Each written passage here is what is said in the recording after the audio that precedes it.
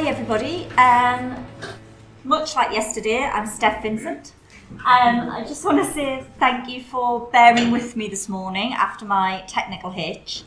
But as you can see from the title of my talk, it absolutely will be worth it because we're going to be discussing uh, fees for the transfer of archaeological archives in museums in England. Um, so this is a Historic England commissioned piece of work. Now, I don't know if anybody knows this, but we do have a problem in terms of archaeological storage in museums. Um, it turns out everybody's either full or getting full, and yet archives keep coming. So there's been a lot of work done um, to try and look at how we deal with this project. Now, what I'm going to tell you is not the answer to, to that problem, um, but it does feed into those discussions that we're having. So you'll be aware of the SME work that's been going on over the last few years. There's been other pieces of work by Historic England that's been done. And in the southwest, we had a regional project called Seeing the Light of Day, which was looking at different aspects of, of this storage problem. Um, and what I am trying to do is um, fulfill this aspect of the Mendoza report, which came out last year and which tasks Historic England to work with key stakeholders to produce recommendations for the DCMS, which will improve the long-term sustainability of the archaeological archives generated by developer-funded excavations. Now, one thing that these other projects have um, all run into, a little stumbling block that we've run into, is that when you are trying to compare other options for archaeological storage that aren't traditionally within your museum stores, one of the things you want to look at is how much money is available, how much money people are getting in from using their archives, what they're using that money for. And that's always been a little bit of a an unknown quantity. And so that's what um, this piece of work very specifically sets out to look at. So um, there were quite uh, quite a specific remit. So first of all, what are we charging for the deposition of archaeological archives? Um, what costs are we looking for those charges to offset? How are we calculating those costs? Um, are there any stumbling blocks for us as organisations um, to work those costs out? And how then is the money that's coming in from the deposition of archives being used within organisations? Um, just to point out, I will just keep referring to museums when I'm talking, but actually to be, participate in the project, you just needed to meet these three criteria. So I will keep saying museums because it's easier, but uh, this there were um, um, archive departments who also participated in the study. So we did try and make it as broad as possible. Um, so uh, basically what we first set out to do was to um, answer this question.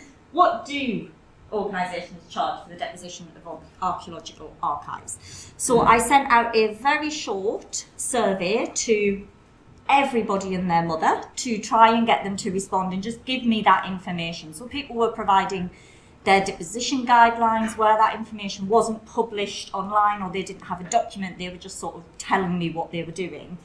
Um, and a combination of people responding to that and then me going out and collecting additional information um, I had 63 people respond to um, that survey. Every one of them was charging for commercially produced, sort of developer led produced um, archives. People do also hypothetically charge for other types of archives, so community archive and academically created archives, but everybody indicated that they would work with those type of groups, so we didn't consider that too much. Um, what I really should do is just more or less answer this question by doing this. Oh. I could have said anything here and it would have been correct because some museums would have been charging that. Um, I've tried to break it up a little bit though. So we have um, a group of museums who charge a minimum fee for archive. And that minimum fee ranges between anything from £45 to £395. And the way that works with the minimum fee is uh, you pay that and you get X amount of boxes included. So that can be anything from two to six boxes, not always correlating with the amount that the minimum fee is. So just because you're charging a higher minimum fee doesn't mean that they automatically get more boxes included in that minimum fee, which is handy. Um, and there are also a small group of um, organisations who are charging a fee prior to deposition. So at the point of notification to the museum, they're charging either a pure administration fee or they're asking for all or part of their minimum deposition money up front. And the rationale behind that when talking to people is essentially that this is the part that takes staff quite a long time, corresponding with the depositors and getting this into your system. A lot of people issue accession numbers at this point or some kind of temporary numbering system. And we know that from notification to actual deposition can take forever. So you could be actually spending quite a lot of your time providing a service which then your organisation is not going to be paid for until several years down the line. And so that was what this group of people kind of were thinking through that rationale. And um, overall, as well, we divide into two groups. There's um, those of us, the majority, who um, charge one fee per unit within an archive. So they will charge you the same whether you um, give them a tiny box of small finds or a big box of pottery. Um, it doesn't matter. They are dealing still with getting that one thing, putting it into their systems, putting it on their shelves. So the amount of time spent servicing that one box, if you will, I don't think I should have explained it like that, but let's go with it. Um, it will be the same regardless of what actually is in it. But you can see that again, the variation in what people are charging is massive. Um, the 17, whatever my little thing is, the 1723 uh, correlates to the uh, Historic England box grant charge, box grant recommended level. We'll come to that, that again later on. Um, and then there are the other group of museums who are charging, who charge a different amount depending on what is in your archive. Um, so this often goes by size of box, purely by size of box, but other some places do differentiate between bulk finds and small finds, iron material versus other type of small type fine material. Um, and you know, there's one there's one organisation where there's a list of it's two sides of A4, the different charges because a box 10 millimeters or 20 millimeters bigger will be a different cost to deposit with them. Um, and it, but again, it's a bit how long is a piece of string. Those don't necessarily correlate between these organisations. So it's not like a large bulk finds box is costing the same at all of these organisations.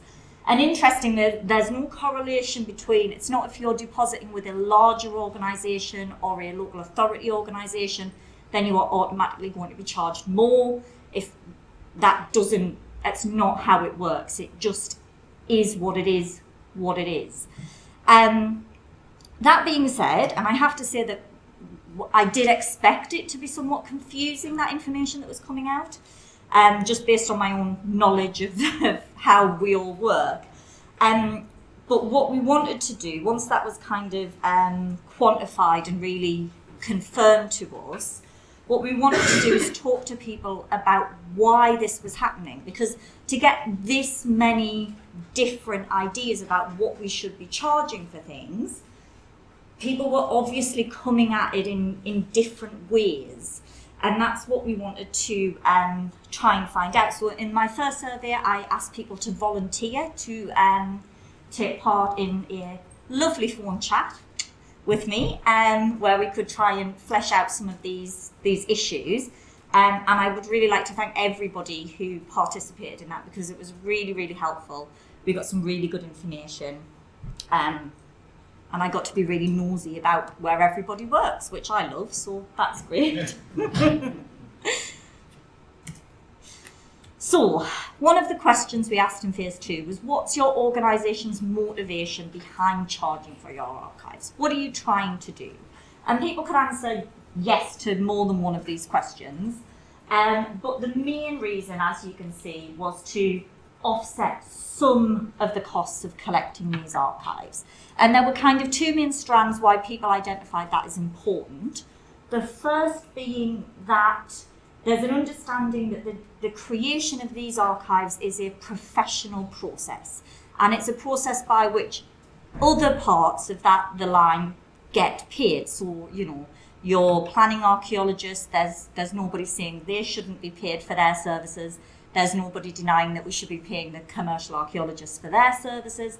We are providing a service which forms part of that chain, and people felt that our skills should be recognised within that. But also um, the fact that this, oh, oh well, that's George. Close your eyes a minute, otherwise we'll get all the previews. Um, uh, the recognition that um, this is a, a different collection to other things we collect. If you're collecting decorative art, you have a lot of say over what you do and do not take into your museum collections. And that is not that's not the case with archaeology. If you're open and if it's within your area, then you take it. I mean, you may, in certain circumstances, try and talk about rationalisation or about a sampling selection, but really, it is a very, for the museum, it's a very passive process.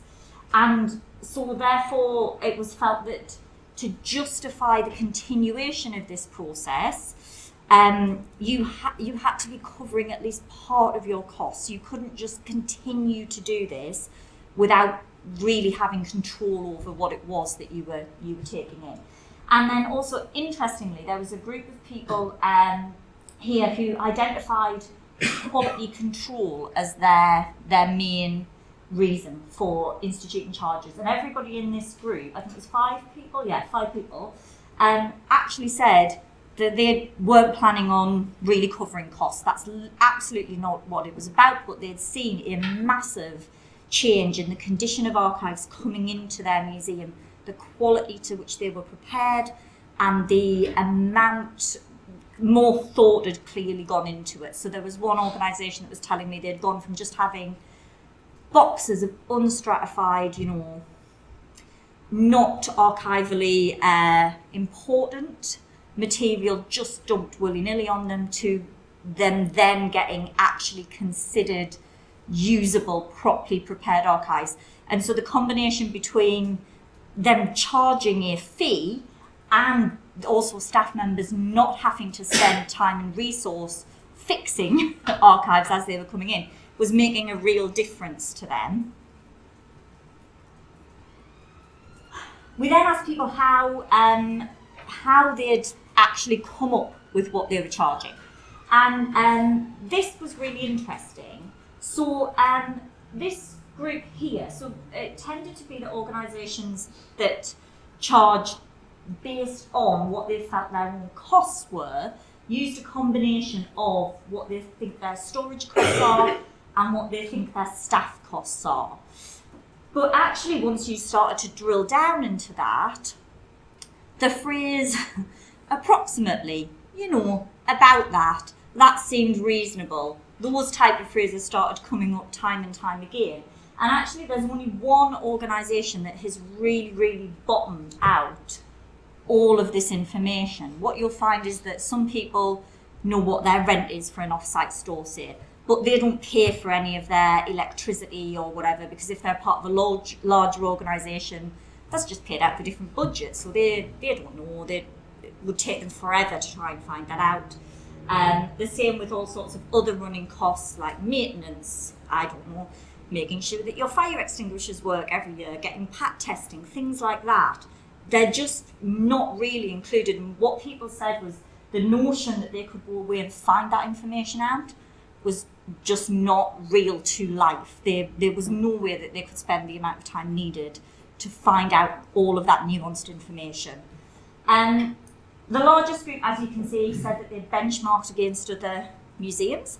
Um, it's really fast to do, it's really easy to do, you're not doing anything controversial, you can point and say, we're just in line with all these other people.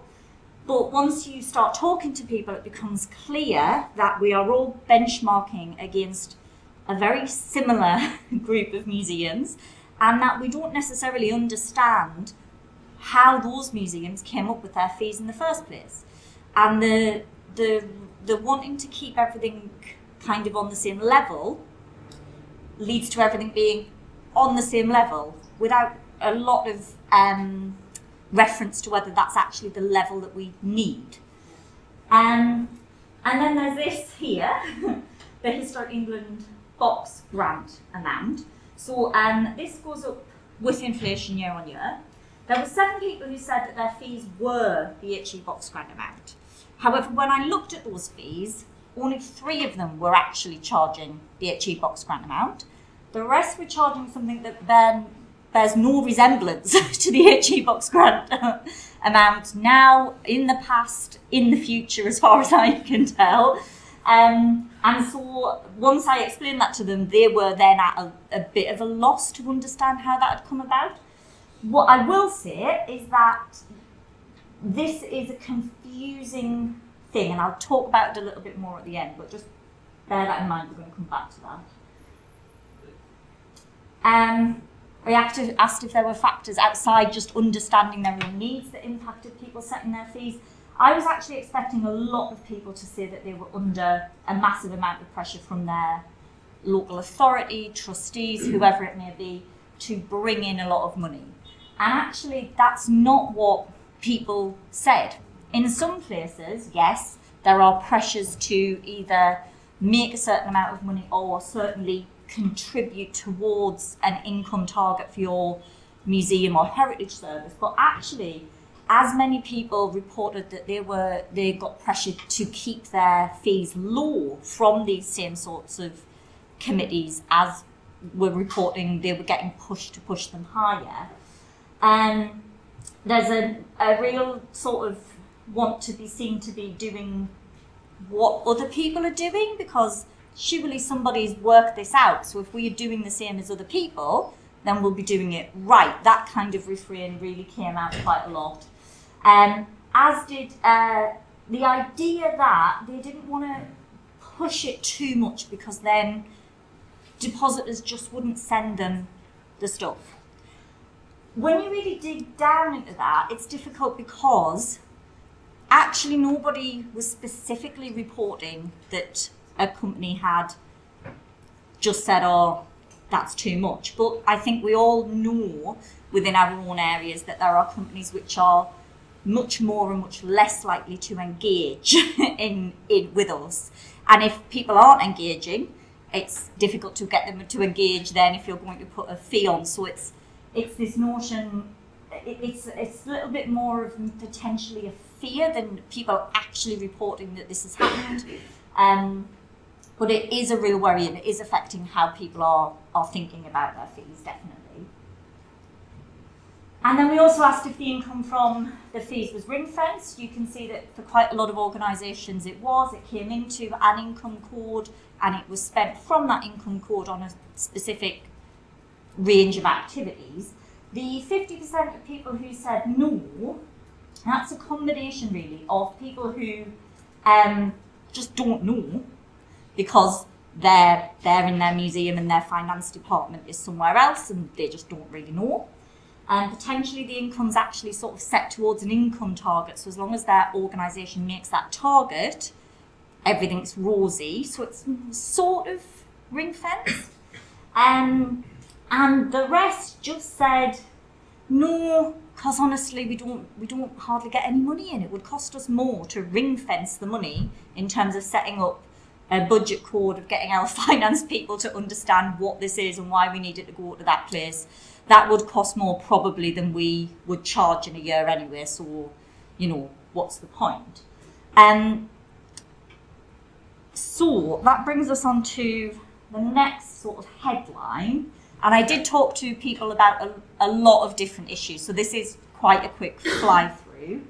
Um, so I asked people if they could tell us what their actual annual income was from archaeological archives.